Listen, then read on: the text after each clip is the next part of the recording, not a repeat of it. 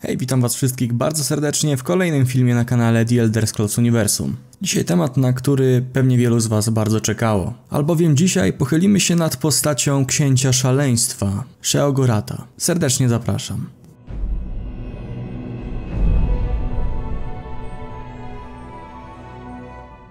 Sheogorat to dedryczny książę szaleństwa, czwarty z czterech krańców rodu utrapień, kot skumy, Pan niby rzeczy, łobuz, pocieszyciel ludzi, oszust i władca drżących wysp. Mówi się, że jego motywy są nie do poznania. Czasami nazywany jest też szaloną gwiazdą, szalonym panem, szalonym jedynym, szalonym bogiem i wujkiem Sheo. Jego królestwo, najczęściej nazywane drżącymi wyspami, nazywane było też szalonym domem. Uważa się, że ci, którzy tam trafiają, tracą rozum na zawsze. Oczywiście tylko sam szalony Bóg może decydować, kto ma przywilej wejścia. Jego sługami są złote bóstwa, czyli aureale oraz mroczne kusicielki, bądź uwodzicielki, czyli masken. Szalony Bóg zazwyczaj objawia się na Nirn jako pozornie niegroźny, dobrze ubrany mężczyzna, często noszący laskę co było tak powszechnym zjawiskiem, że został nazwany gentlemanem z laską. Shogorat spotyka się wszędzie z pełnym lęku szacunkiem, wyraźnie widocznym w większości miejsc w Tamriel, a on sam odgrywa ważną rolę w praktykach religijnych Dalmerów. Choć jego oficjalnym dniem przyzwania jest Dzień Szalonego Pelagiusa, czyli drugi dzień wschodzącego słońca, to można go wezwać w każdy dzień, gdy rozpęta się akurat burza. Shogorat jest jednym z. Tak 16 dopuszczalnych bluźnierców, przy czym mówi się, że do Sheogorata pocieszyciela ludzi.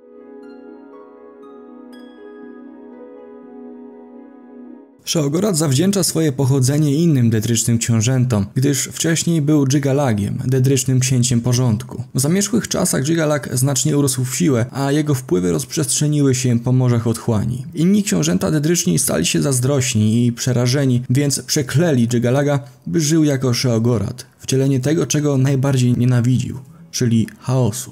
Klątwa pozwalała Dżigalagowi powracać w swojej prawdziwej postaci pod koniec każdej ery i odzyskiwać swoje ziemię w procesie zwanym jako Szary Marsz. Później jednak Gigalak przemieniał się z powrotem w Sheogorata, a jako Sheogorat ponownie szerzył szaleństwo na swoich ziemiach. Sheogorat stał się jednym z czterech dedrycznych książąt po raz pierwszy wspomnianych w spisanej historii. Mówi się, że jest on dziurą świata w kształcie Sitisa. Dziurą, która powstała, gdy boska iskra Lorkana została usunięta. Jednym z przesądów jest unikanie burz z piorunami, ponieważ podobno należą one do Sheogorata. Innym jest to, że szaleńcy są doprowadzani do swojego stanu przez właśnie rozmowę z Sheogoratem, który udziela im rad i informacji, których ich umysły nie są w stanie pojąć. Historia jest pełna opowieści o czcicielach Sheogorata, którzy wyrządzili wielką krzywdę sobie i innym, a także o śmiertelnikach, którzy ulegli szaleństwu dzięki jego wysiłkom i wysiłkom innych Dedr. O takich ludziach mówi się, że zostali dotknięci przez Sheogorata lub pocałowani przez Sheogorata. Sheogorat jest przede wszystkim nieprzewidywalny. Jest typem bóstwa, które robi rzeczy dla kaprysu, czy też z nudów. Oddaje się chociażby sadystycznym czynnościom, czy traktowaniem wszystkich jak zabawek. Odzwierciedla to wiele mitów, opowieści i legend. Ulubioną rozrywką Sheogorata jest torturowanie, a sam Sheogorat twierdzi, że spędził pierwsze 3 do 4 tysięcy lat swojego istnienia na dręczeniu motyli, zanim w końcu z tego wyrósł. Motyle są obecnie z nim kojarzone, służąc jako znak jego wpływu. Mówi się, że nowe Sheot, podzielona stolica drżących wysp, została założona z jego kaprysu. Mit o Sheogoracie to zbiór opowieści, który służy jako kolejny przykład. Sheogorat, tu cytat, wymyśla muzykę, tworząc instrumenty z części ciała młodej kobiety. Sheogorat i król Liandir który został zabity przez swojego obłąkanego syna po tym, jak całe jego królestwo popadło w szaleństwo, oraz pojedynek woli, w którym Shogorat wygrywa nawet nie próbując. Z kolei upadek Witarn opowiada historię hrabiego z drżących wysp, który nie szanował Sheogorata i którego Sheogorat nagrodził nadmiernym szaleństwem w jego rodzinie, co doprowadziło do ich śmierci. Niegdyś inni dedryczni książęta obawiali się surowej mocy Dżgalaga, teraz z kolei muszą się obawiać przebiegłości Sheogorata. 16 akordów obłędu to opowieści o spotkaniach i nieuniknięciu nieuniknionych triumfach Shalgorata nad innymi dedrycznymi książętami, takich jak pokonanie Hircyna w pojedynku czempionów bestii, którym pozwolił bestii Hircyna rozszarpać się na śmierć, wygranie zakładu z Verminą, po prostu nie robiąc nic, i odebranie duszy orkowi, który zamordował jednego e, z jego zwolenników kiedy to pozwolił samemu Malakatowi zgładzić orka, który później okazał się być jego synem. Ogólnym motywem jest to, że pozwala on swoim przeciwnikom pokonać samych siebie, pozostając odpornym na ich ataki, jednocześnie robiąc stosunkowo niewiele, no chyba, że jest pochłonięty akurat często gwałtowną kreatywnością. Shogorat skazał również człowieka na śmierć za próbę zapuszczenia brody. Co akurat jest nawiązaniem do jednego z artystów pracujących dla Bethesdy, no i w zasadzie do faktu, że w całym The Elder Scrolls 4 Oblivion tylko Sheogorat nosi brodę. Sheogorat lubi groźby, w szczególności te napisane na plecach argoniańskiej konkubiny. Nienawidzi niezdecydowania, a może nie? Jego tytuł Szalonego Boga jest również przekazywany z Sheogorata na Sheogorata co kilka tysięcy lat. Ulubioną bronią Sheogorata są miecz i kusza.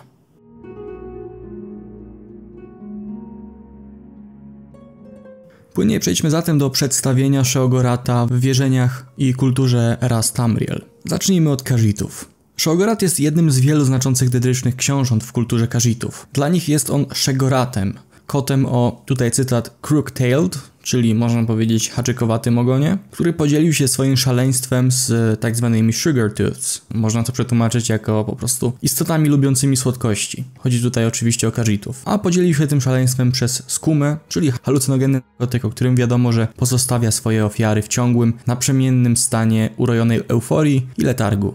W rzeczy samej jest on znany jako kot skumy, bo nic nie jest bardziej szalone niż kot na skumie. To również był cytat. Kajitowie wierzą, że narodził się ze związku Anura i Fadomaj, z którego wywodzą się wszystkie boskie koty, w tym właśnie Shegorat. Teksty Preridata stwierdzają, że jest on przeciwstawnym duchem, który testuje Kajitów na ścieżce, sprawiając, że wątpią w prawdziwość własnych myśli, przekonań i działań. Należy stawić mu czoła na ścieżce i pokonać go, zanim Kajit będzie mógł odwiedzić bibliotekę Hermory. Niektóre starożytne plemiona Kajitów wierzyły, że Szegorat nie żyje i został zastąpiony przez coś innego. Skumowy kot przybiera postać Alfika, czyli tej przypominającej koty domowe odmiany Kajita i zachowuje się bardziej jak zwykły kot domowy niż te faktyczne kajity, alfiki. Przykładowo, no, łatwo rozprasza go włóczka. Jedno z najwcześniejszych udokumentowanych spotkań z Szegoratą zostało opowiedziane w zaginionej opowieści o Kunzarri i skumowym kocie.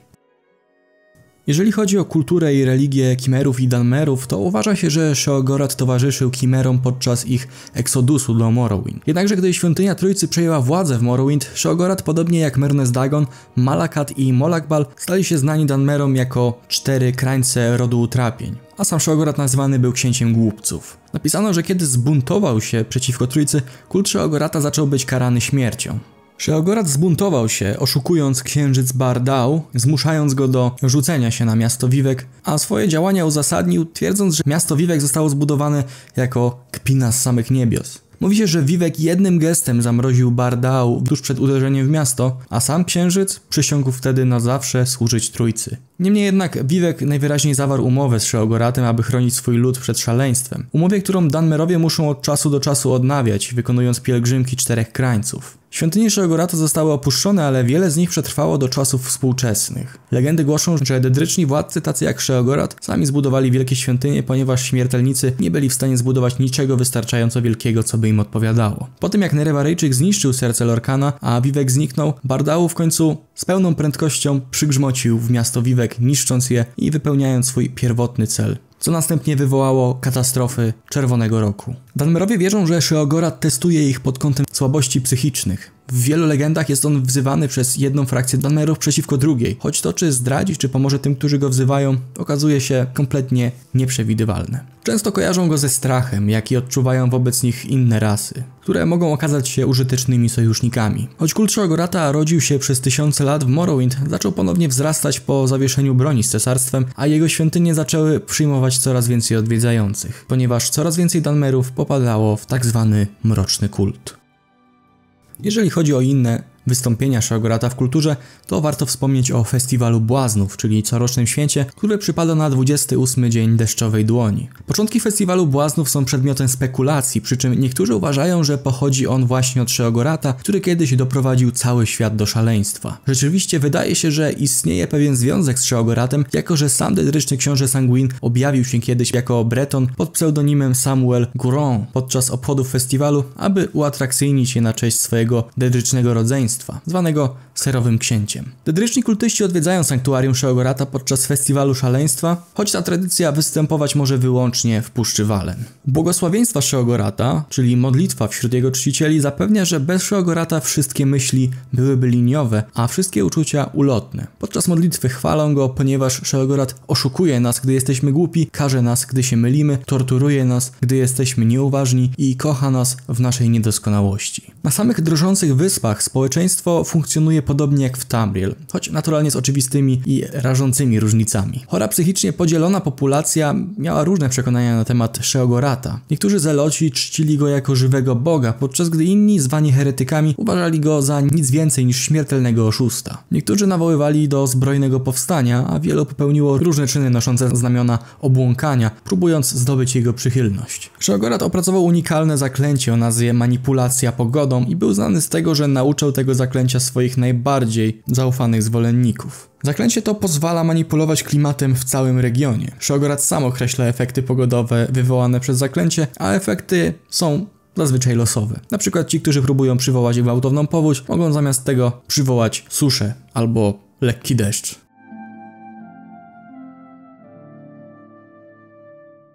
Skoro kulturę mamy już za sobą, czas teraz skupić się na występowaniu Sheogorata na kartach historii Tamriel. Na początku pierwszej ery Shalidor założył na wyspie Eweja schronienie dla wszystkich magów. Później jednak Shalidor przehandlował wyspę z Sheogoratem za tzw. Tak folium discognitum. Tom wiedzy, którego zdobycie było jego własną obsesją. Wyspa została przetransportowana na drżące wyspy, gdzie pozostawała przez tysiące lat. Shalidor żałował później, że sprzedał wyspę, czując, że został oszukany przez szalonego boga. Pomiędzy trzecim a piątym dniem deszczowej dłoni 2920 roku pierwszej ery, Sheogorat wraz z siedmioma innymi potężnymi lyrycznymi książętami, zawarł umowę znaną jako Pakt Mroźnego Azylu. Drugą stroną umowy był Bóg Trójcy, Sota Sil. Niewiele wiadomo na temat tego paktu, ale są teorie, że uniemożliwia on tym książętom bezpośrednie manifestowanie się na Nirnie. Spekuluje się, że aby zapewnić sobie zgodę książąt, Sota Sil musiał albo stanowić dla nich jakieś znaczące zagrożenie, albo przedstawił im bardzo lukratywną ofertę w zamian.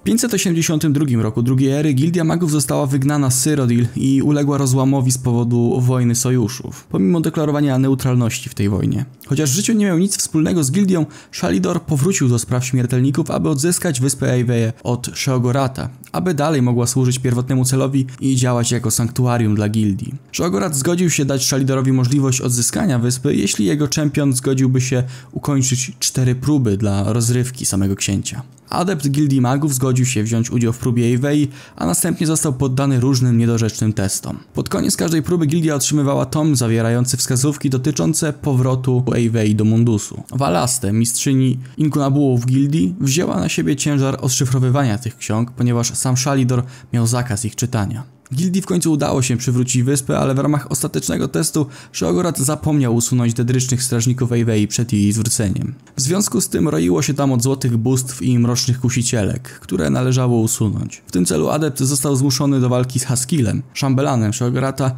aby ostatecznie oczyścić wyspę z wpływów dedrycznego księcia. W tym samym roku Sheogorat skierował swój wzrok na South Point i wykorzystał niezadowolonego burmistrza, który twierdził, że utracił swoje dziedzictwo. Burmistrz domagał się władzy, aby zyskać szacunek, którego potrzebował na swoim stanowisku, ale Shogorat zamiast tego przeklął jego język szaleństwem i pozwolił mu doprowadzić do bałaganu w mieście. Szaleństwo zalało South Point i jego mieszkańcy zaczęli zabijać się nawzajem na ulicach, a żołnierze Dominium otoczyli miasto szczelnym kordonem. Vestige, czyli nasza postać w The Elder Scrolls Online, położył kres szaleństwu, rozprawiając się zarówno ze skorumpowanym cesarskim burmistrzem, jak i dedrycznym księciem, a miasto pozostało w Dominium aż do czasu jego rozpadu. Następnie Shogorat przybrał postać kota Skumy i spustoszył dwa księżyce w tenmarskiej świątyni w. Chcąc otrzymać wiadomość od bliźniaczych księżyców, zamiast użyć księżycowego cukru w swojej ceremonii, księżycowa biskupka świątyni użyła niezabezpieczonego narkotyku w postaci skumy, a Sheogorat przybył na jej wezwanie. Planował później przekonać kapłanów do oślepienia się widelcem przerażenia, jednym z artefaktów Sheogorata, aby ukryć się przed smokami nękającymi Elsweir. Sheogorat został powstrzymany przez Vestigia, który zlokalizował i skonfiskował widelec oraz uratował księżycową biskupkę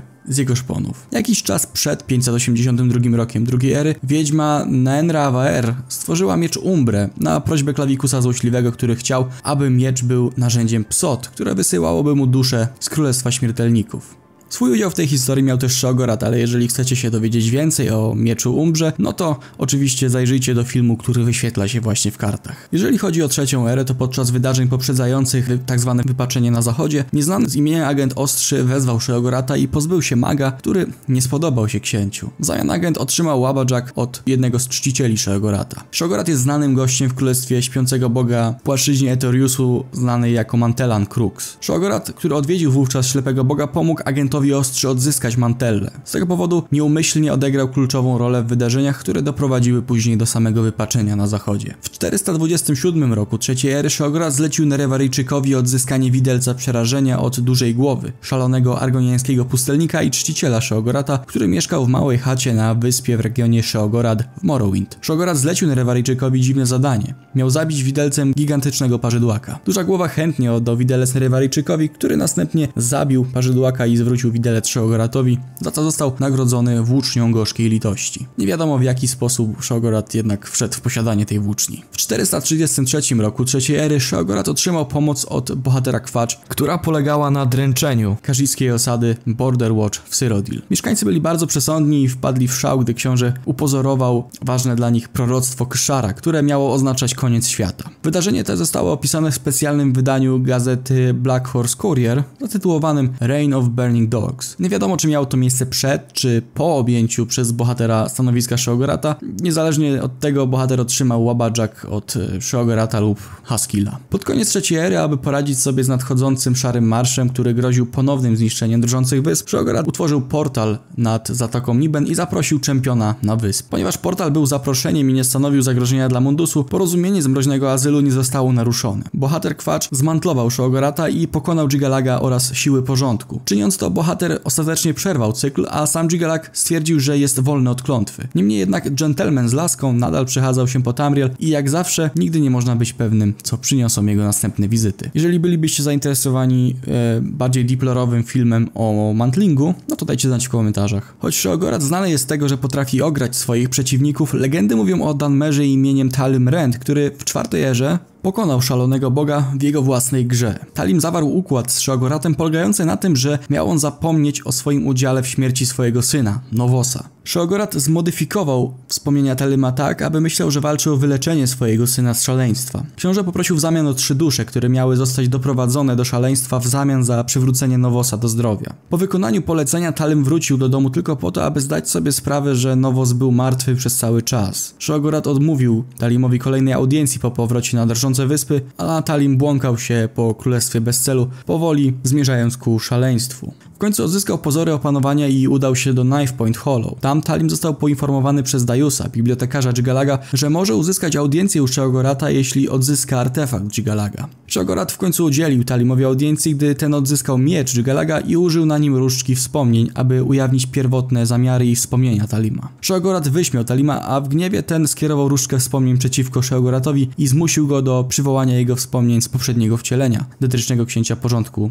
czyli samego Gigalaga. Wspomnienia sprawiały ból Shaogaratowi, który zaczął wręcz błagać Talima, aby przestał. Spełnił następnie życzenie Talima i uwolnił jego i jego towarzyszy ze swojego uścisku. Około 180 roku czwartej ery Sheogorat, przebrany za szalonego Bretona o imieniu Theodor Gorlasz, imię to jest anagramem od Lord Sheogorat, zachęcił wojownika, czyli postać z The Elder Scrolls Blades, do wejścia do portalu za miastem Rivercrest. Portal prowadził do miejsca zwanego jako Abyss, jednego z tajemniczych królestw otchłani, składającego się z nieskończonej serii pokoi i korytarzy, zarówno rzeczywistych, jak i nierzeczywistych w tym samym czasie, które razem tworzą niekończący się loch. W 201 roku czwartej ery były bosmerski arcykapłan Mani, Tervenin, który w tamtym czasie wydawał się zwykłym żebrakiem, przekonał ostatnie smocze dziecię, by pomogło mu w odnalezieniu swego pana. Spowodowało to, że smocze dziecię nieświadomie weszło do umysłu zmarłego dawno Pelagiusa Septima III i otrzymało zadanie przekonania Shoagorata do powrotu na drżące wyspy. Ten zgodził się na powrót, ale tylko pod warunkiem, że smocze dziecię zdoła uciec z umysłu Pelagiusa. Shoagorat zdecydował się pomóc smoczemu dziecięciu, przekazując łabadżak wraz z instrukcjami jak go użyć, aby wyleczyć Pelagiusa z jego szaleństwa. Po ukończeniu kilku wyzwań i pokonaniu wewnętrznych lęków martwego cesarza, smocze dziecię było w stanie powrócić do Tamriel, otrzymując uprzednio od Shoagorata Łabadżak jako prezent pożegnalny.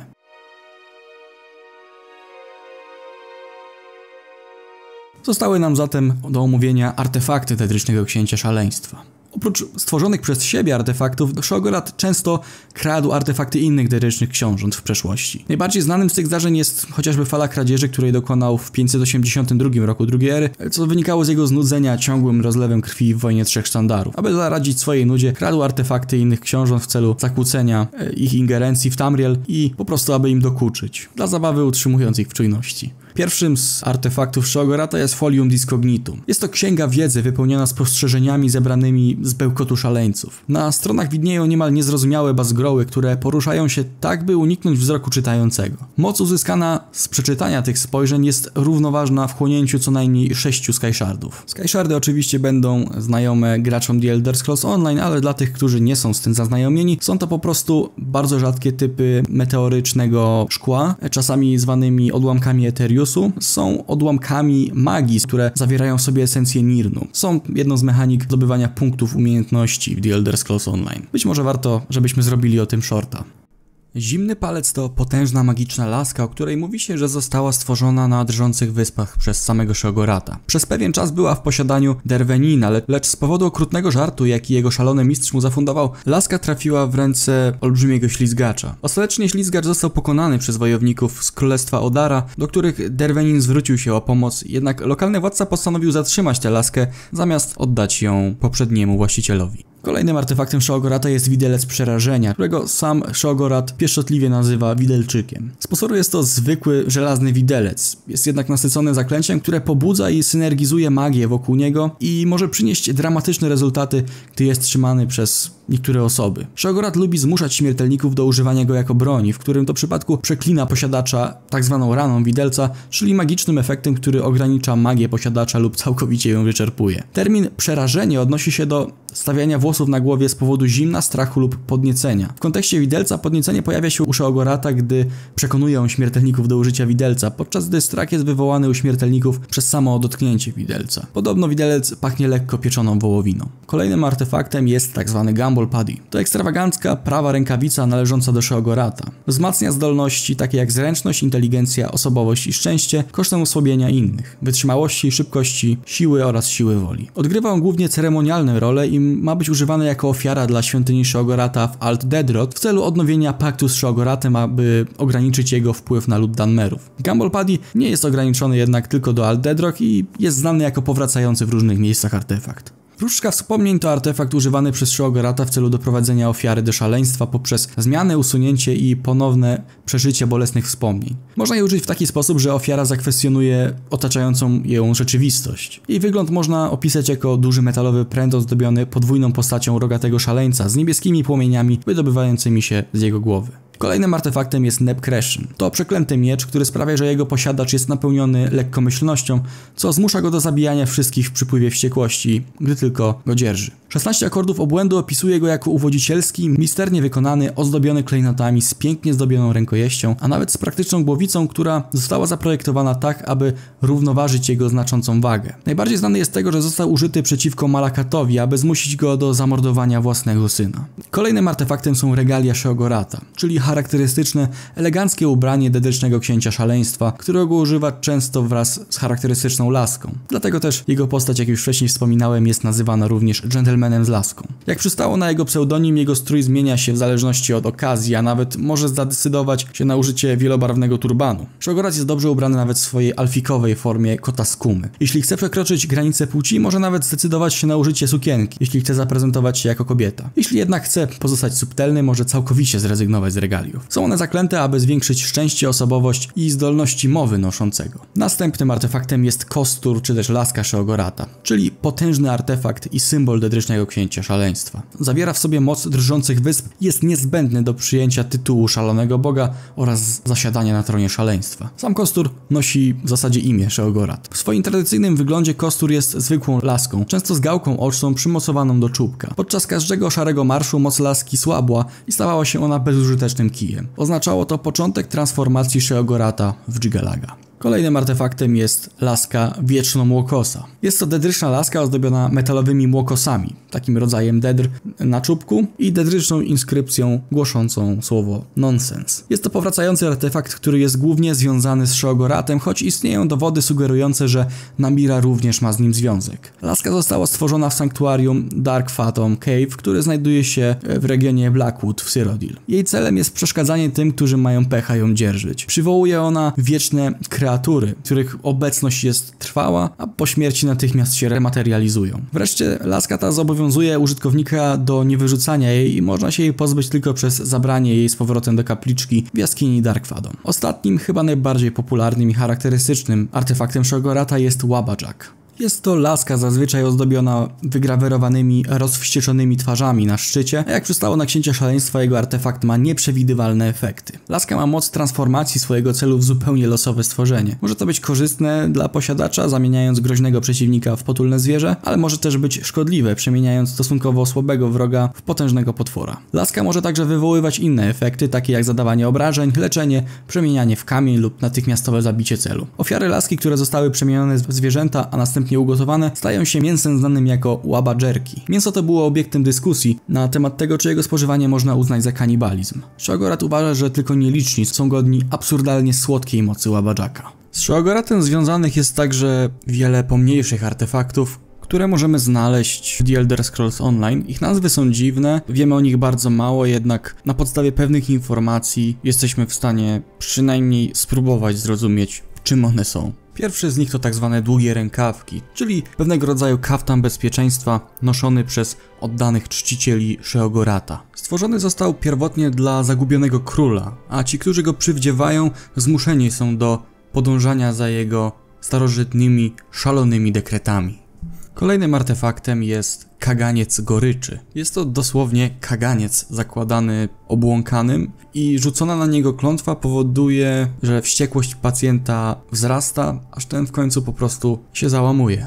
Następnym artefaktem jest tak naprawdę para zatyczek do uszu z Azylii. Są to zmumifikowane palce, które po włożeniu do czyichś uszu mają podobno zagłuszać wszelkie dźwięki oprócz śmiechu podobno śmiechu samego szalonego boga. Następnie mamy ceremonialny nóż do sera, który jest zwykłym ceremonialnym nożem do sera, tyle że używając go w specjalnym rytuale razem z kołem sera ajdarskiego możemy przyzwać mroczne kusicielki lub złote bóstwa.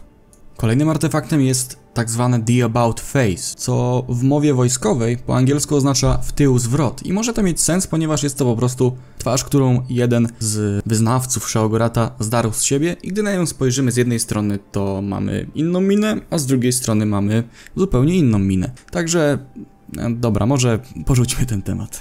Następne są skrzypce niezgody czyli skrzypce, które trzymają ton jedynie dla tych dotkniętych przez Sheogorata, czyli po prostu szaleńców. Kolejny artefakt to starsza siostra, młodszy brat, czyli dwie twarzoczaszki połączone ze sobą w jedną małą czaszkę. Kolejnym artefaktem jest tak zwany świadomy trunek, czyli destylowany płyn mózgowo-rdzeniowy pobierany od mieszkańców drżących wysp przez poddanych Sheogorata. Ci, którzy go spożywają, podobno odkrywają utraconą wiedzę. A kolejnym elementem tej jakże chorej kolekcji jest wściekły gryzoń, szkodnik należący do szalonego boga. Na tego, kto słucha jego kłamstw, spada wielkie nieszczęście. A może chcielibyście się napić z kielicha szaleńca? Podobno zapewnia on przejrzystość szaleńca każdemu, kto z niego wypije. Niestety, co ta przejrzystość oznacza, nie jest nam znane. W następnej kolejności zgubiony guzik szalonego boga. Legendy mówią o tym, że Malakat wyrwał guzik z dubletu Sheogorata. Wyznawcy Malakata uważają ten obiekt za pewnego rodzaju obrzydliwość. A jeżeli zaciekawiło Was Folium Discognitum, to mamy jeszcze inną książkę, czyli The Aidar Scrolls, meretyczne sery Część druga. Te zwoje Aidara są oczywiście nawiązaniem do tytułu naszej ukochanej serii gier. Są to oparte na serze przepowiednio przepisy, gdy skonsumujemy przygotowane w ten sposób jedzenie, podobno ma nam się pokazać przyszłość. Oczywiście kosztem naszego zdrowia psychicznego. Dosłowna kpina z kapłanów ćmy. Przedostatnie na liście jest Światło Nocy. Rzuca ono światło i dziwaczne, tańczące w ciemności cienie, które przedstawiają wydarzenia mające miejsce na drżących wyspach. A przynajmniej taka jest teoria Alvura Barena. I w ten sposób dotarliśmy do ostatniego z tych mniejszych artefaktów, którymi są okulary wujka Leo. Należały one do mędrca, który chciał zrozumieć absolutną prawdę o świecie, którego otaczał. Kiedy szalony Bóg spełnił jego życzenie, ten rzucił się z najwyższej wieży w Wayrest. A i jeszcze e, może warto wspomnieć, że tak naprawdę łabadżerki, które powstaje poprzez ugotowanie tego mięsa zwierzęcego stworzonego przez łabadżaka, e, też jest uznawane, jak rozumiem, za artefakt Sheogorata. No, ja bym tego nie jadł. Chociaż może.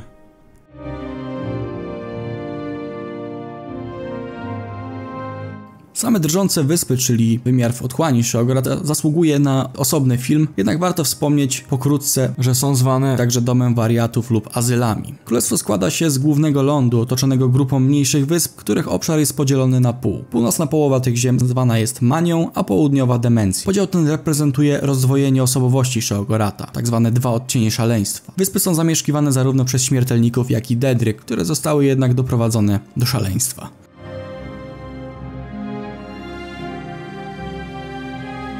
Na koniec warto wspomnieć także o sługach i stworzeniach powiązanych z Shogoratem. Najbardziej znanymi dedrycznymi sługami szalonego boga są Aureale i Maskeni, rywalizujące ze sobą klany Dedr z matriarchalnymi społeczeństwami, które postrzegają mężczyzn jako gorszych od siebie. Każde z nich stanowi połowę armii Shogorata, przy czym Aureale służą mieszkańcom Mani oraz w należącej do Mani części nowego Sheot, zwanej błogością, a Masken robią to samo dla mieszkańców Demencji oraz dla Tygla, czyli należącej do Demencji połowy nowego Sheot. Kolejnymi sługami Shogorata są głody, które zwykle kojarzone są z Boifia, jednak zamieszkują też drżące wyspy i służą tam jako strażnicy. Mówi się, że są idealną reprezentacją ciemnej strony Sheogorata. Drżące wyspy są także domem dla stworzeń, które pozornie mm, nie są dedrami z natury, takich jak chociażby duże podobne do modlisz Elytry i podobne do wił Gnarle. Najbardziej unikalną fauną drżących wysp są baliwogi, czyli żabopodobne bestie o bardzo złożonym cyklu życia.